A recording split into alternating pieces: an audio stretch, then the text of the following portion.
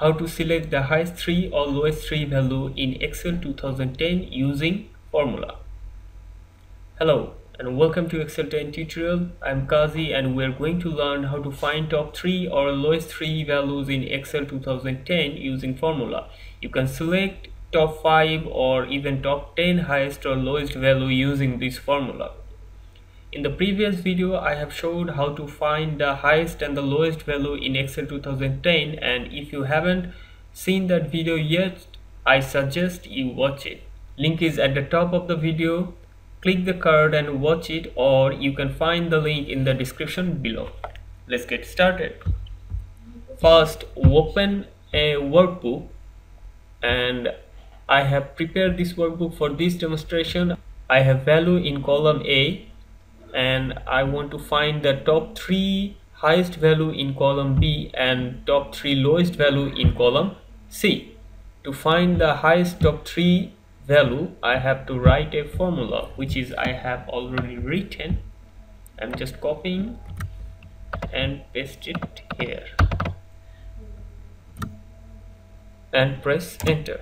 So this is the top three values and I'm going to use this formula to find the lowest three values.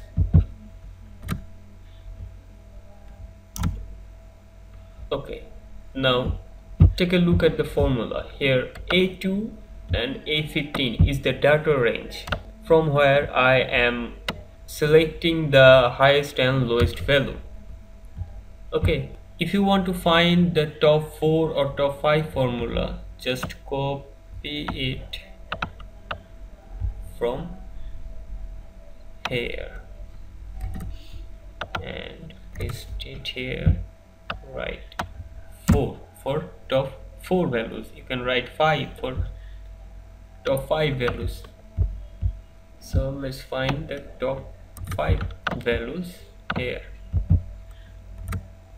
Press enter. See this is the top 5 value you can do it for top 10 values top 5 values top 6 values as long as you follow the rules okay?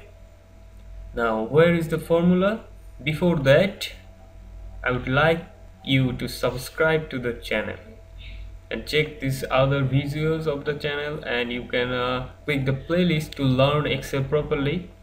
And I have given the formula in the description you can copy it from there. If you like the video please subscribe. And you can share this video with your friends. Thank you. This is Kazi signing out from Excel 10 tutorial